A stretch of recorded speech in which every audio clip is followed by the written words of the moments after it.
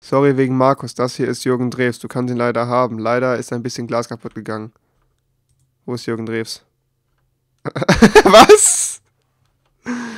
Kaputt gegangen, Gruß bitte TV. Hä?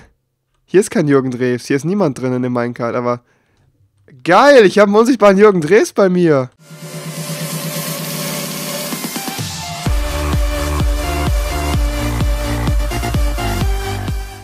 Yo, Leute, was geht? Herzlich willkommen zu einer neuen Folge von Crafty. Und, ähm, ja, ich habe mir heute gedacht, weil es ist ja Sonntag und ich bin eben erst aufgestanden und ich bin heute ein richtig fauler Waxer, dachte ich mir so. Ähm, zeige ich euch erstmal so, was ich so gemacht habe und ähm, mache ein paar Twitter-Fragen und ich möchte gerne heute in den Nether gehen und ein bisschen produktiv sein, weil wir haben ja da eine gute, äh, die gute Nether-Farm, die gute Nether-Farm, die alte ähm, die ihr letztes Mal schon gesehen habt mit den Pigmännern. Und ich würde sagen, da arbeiten wir in dieser Folge ein bisschen dran. Ich wollte hier eigentlich mal mit dem Keller anfangen, aber irgendwie sträube ich mich die ganze Zeit vor und suche mir andere Sachen. Ich zeige euch gleich noch mal ein krasses Schwert. Ihr seht das schon da unten links, aber ich äh, zeige jetzt nicht, was da drauf ist, weil das ist ziemlich, ziemlich krass und heftig. Und ich weiß nicht, wenn ich das jetzt zum Anfang der Folge mache, dass halt die Leute in Ohnmacht fallen, habe ich halt Angst vor und deshalb will ich das erst später zeigen weil es halt wirklich ziemlich krass und heftig ist. Es ist halt wirklich echt, also es ist ziemlich so das krasseste Schwert der Welt, ne? Das ist halt schon ziemlich krass und heftig. Vielleicht sollte ich nochmal sagen, wie krass und heftig das Schwert ist. Ist ja auch egal.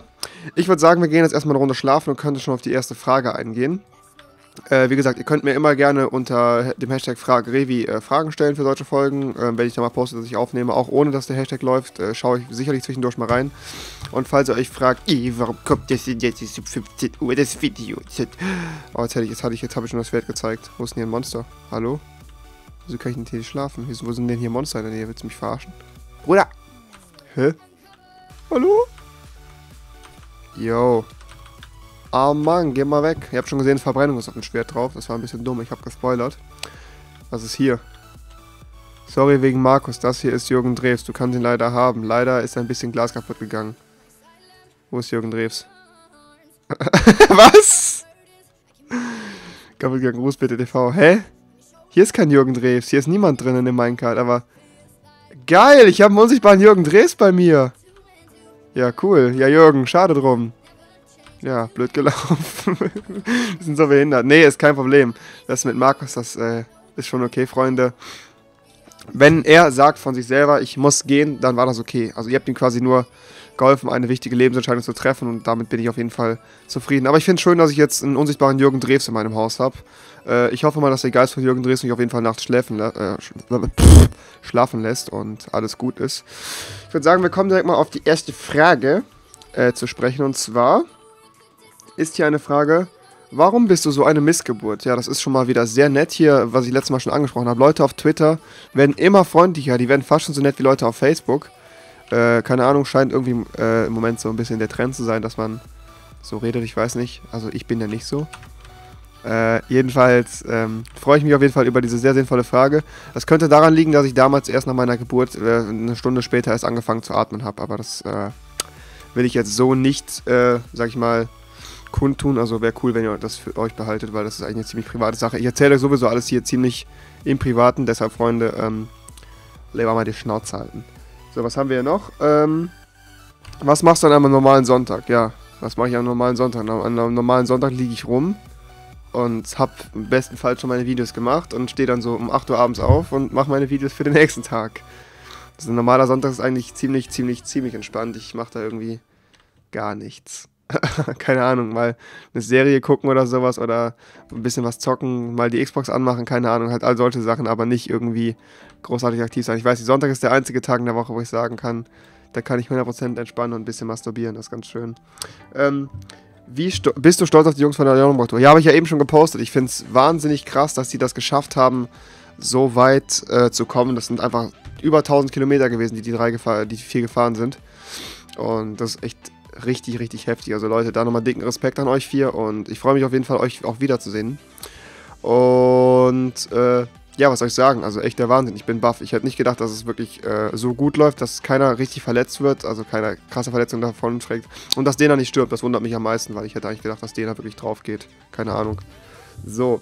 Warst du schon immer eine Missgeburt oder kam das mit. Ja, das irgendwie beschränkt es sich ziemlich auf Missgeburt-Fragen im Moment. Das ist einfach sehr nett von euch. Dankeschön. Ähm, Fährst du Longboard und wenn ja, wie lange schon? Kannst du mit dem Hype, äh, kamst du mit dem Hype auf YouTube auf Longboarden?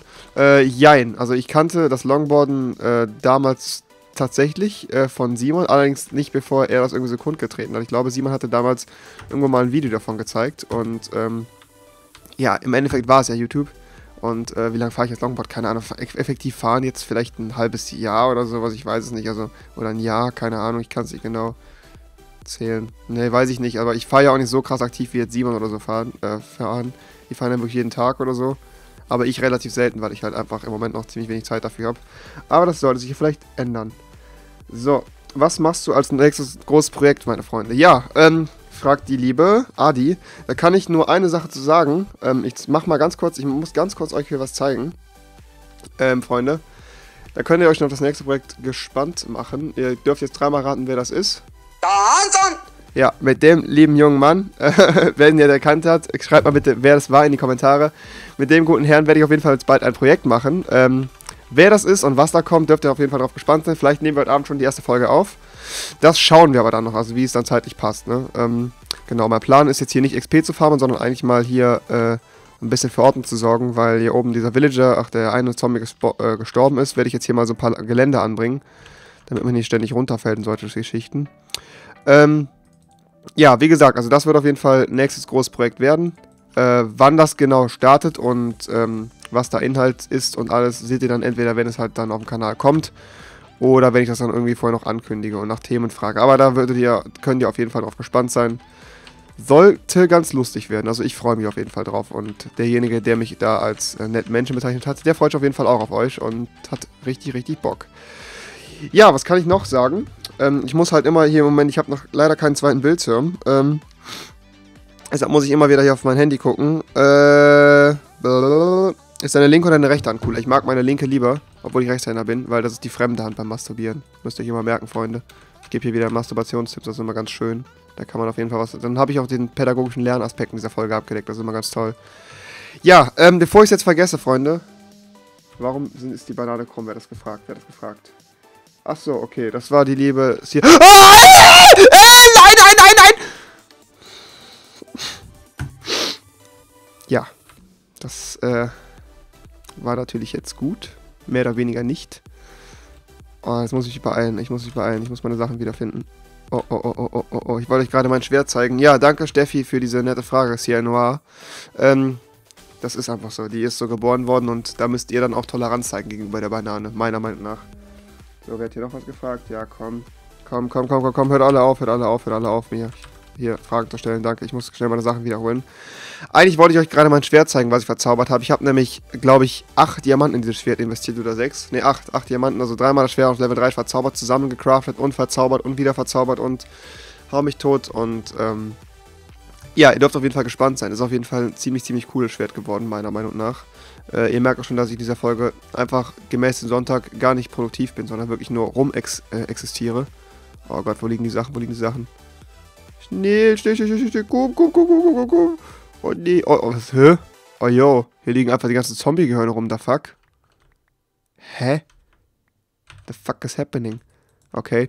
Gut, dann zeige ich auf jeden Fall jetzt mein, mein ultra heftiges Schwert. Und das ist meine dicke Mac-10, meine Freunde. Das Schwert hat nämlich Schärfe 3, Rückstoß 2, Faltbarkeit 3 und Verbrennung 2. Also quasi das krasseste, was es gibt. Es fehlt halt einfach nur noch. Äh, äh, wie heißt es? Also ihr seht auch schon, das äh, Two hittet sogar so ein Pigman, also ziemlich heftig. Äh, es fehlt eigentlich nur noch das ähm, Looting-Ding, aber ich kann leider nur vier Verzauberungen auf ein Schwert drauf machen. In diesem Sinne ist das dann so. Ähm, ich hoffe, ich habe jetzt auch wieder alle Items zurückgeholt. Wenn nicht, wäre das ein bisschen dumm von mir, aber gut.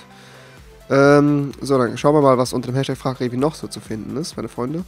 Ähm, hast du gerade eher Hunger oder Durst? Ich habe gerade gegessen und getrunken, also ich bin gerade wirklich super zufrieden, Freunde. Das ist einfach, ich freue mich auch immer, wenn solche Fragen kommen, ne? Ähm, das ist immer sehr schön. Ja, ja, doch, doch.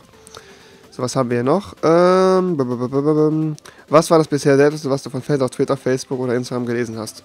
ja, kann ich halt nur sagen, Fanfictions auf Instagrams, die ähm, sind halt schon ziemlich, ziemlich, oh Gott, ziemlich, ziemlich äh, strange manchmal. Da frage ich mich ja dann auch wirklich, wer dahinter steckt. Aber das habe ich ja oft genug äh, angesprochen in solchen Folgen, dass äh, es irgendwie immer wieder, immer wieder so kommt. Ich sollte mir eigentlich vielleicht mal angewöhnen, mir wie gesagt einen zweiten Bildschirm zu holen und dann immer zu sagen, von wem die Frage kommt. Das wäre, glaube ich, auch nicht verkehrt. Aber dafür bin ich einfach zu vercheckt. Yeah. Yeah. So, dann brauchen wir hier einmal drumherum äh, noch so einen kleinen Zaun, dass hier keiner mehr runterfällt, weil ich nämlich in der letzten Zeit ziemlich oft hier oben war ein paar Level gefarmt habe und leider auch oft genug, wie ihr eben gesehen habt, runtergefallen bin. Das würde ich gerne hiermit verhindern. Die Farm äh, möchte ich auf jeden Fall noch erweitern und das auch eventuell im Livestream mal machen. Ähm, ich habe ja schon auf das Thema Livestream angesprochen. Ich weiß auch, dass super viele von euch Lust darauf haben, dass ich mal streamen soll. Äh, wird auch wahrscheinlich gar nicht mehr so lange dauern. Vielleicht äh, werde ich es auch von hier aus zu Hause machen. Wir schauen mal ganz kurz, wie ich das dann mache. Aber da kann ich auf jeden Fall nur so viel verraten, dass es auf jeden Fall nicht mehr lange auf sich warten lassen sollte. Nur noch vielleicht ein paar Monate. Und äh, ja. Demnächst wird es auch nochmal ein paar größere News geben. Äh, bezüglich, ähm, weiß nicht, soll ich das jetzt sagen? Soll ich das sagen? Ne, ich glaube, ich, glaub, ich war das jetzt erstmal für mich. Auf jeden Fall kommen auf jeden Fall demnächst mal ein paar brisantere News, äh, möchte ich so formulieren, die ähm, auch mit ein paar anderen YouTubern zu tun haben. Und ähm, was es genau ist, das werde ich dann formulieren, wenn es dann alles in 100% trockenen Tüchern ist. Aber ähm, da dürft ihr auf jeden Fall gespannt drauf sein. Ich habe eine Treppe gebaut, ich habe es geschafft. Endlich kann ich hier in Ruhe meine Sachen farmen. Und ihr seht auch schon, die Monster fallen irgendwie von allein darunter, die Pigmen. Aber auf jeden Fall ist diese Farm echt krass effektiv. Und was Kunga hier wieder gebaut hat, ist einfach ein Meisterwerk der äh, Tötungsmaschinerie in Minecraft. Also auf jeden Fall wieder super, super ekelhaft. Lord, da, da, da, verpiss dich, danke. Ähm, ja, und ich werde jetzt demnächst das halt definitiv öfters hier oben hängen weil ich meine komplette Rüstung auf äh, ultra krass verzaubern möchte und auch äh, einiges an heftigen Items brauchen werde. Äh, wofür das Ganze ist und alles, das werde ich dann auch noch später äh, mit euch teilen. Ich äh, hülle mich irgendwann gern in, in, in Rätsel, in Schweigen. So kann man das, glaube ich, formulieren, ja. Schauen wir mal, ob wir da unten noch was weiterbauen können und gehen auf die nächste Frage ein. Das ist eine sehr schöne Folge heute, ich freue mich darüber. Ähm, was würdest du, äh, würdest du dein Leben gerne mit dem von Pew PewDiePie tauschen, also vom Prominenzfaktor her? Warum muss ich hundertprozentig ehrlich sagen, nein, gar nicht, ehrlich nicht. Weil, wenn ich sehe, dass äh, so einer wirklich nicht mehr einen Ansatz seines Hauses von außen filmen darf, ohne dass irgendwer herausfindet, wo er wohnt, ist das schon wirklich ziemlich traurig. Und ähm, von daher möchte ich da ehrlich sagen, so cool sein Leben auch sein mag und so viel Geld er auch verdienen mag, möchte ich niemals mit PewDiePie tauschen. Weil wir deutsche YouTuber haben halt noch die Möglichkeit, ein relativ, ich meine, normales Leben ist es ja auch nicht mehr, ne? Also er ermöglicht uns halt schon unheimlich viel. Aber halt, äh, keine Ahnung, bei ihm ist es halt nochmal 50 mal krasser als bei uns.